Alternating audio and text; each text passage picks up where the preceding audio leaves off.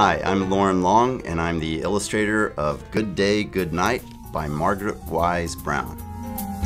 Usually, the first thing I do when I'll take on a project is I'll just sit with the manuscript and read it over and over. I'll just jot down ideas. It's kind of exciting because it's a book that hasn't been completely made yet, and it's waiting for my pictures.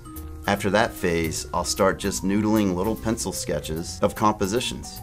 And sometimes at that point, I'll cut out and tape down the text that I think might go with that spread or that page of art. That's creating the, the plan for the book. And I like to think of my picture books as little films, little movies. Then it's time for me to make the paintings. For Good Day, Good Night, I painted them in water-based paints, acrylic paint, I'm just kind of trying to make my painting look a little bit like an oil painting. I felt like it really needed just a traditional classic painting style. My first job was uh, at a greeting card company. My goal was just to make a picture that someone would print anywhere. And I often think about that feeling because now I have a lot of my art printed lavishly in picture books. And I'm really proud how the book turned out.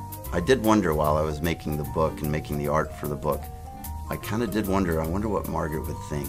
I certainly hope that she would love Good Day, Good Night as much as I do.